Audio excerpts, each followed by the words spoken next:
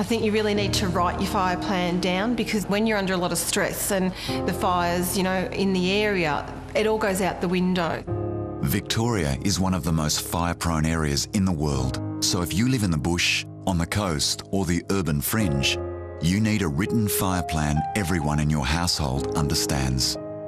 It should include things to do to prepare your property, a list of essential items to take if you leave, a planned exit route with alternatives, your trigger to leave, and a backup plan if you can't leave.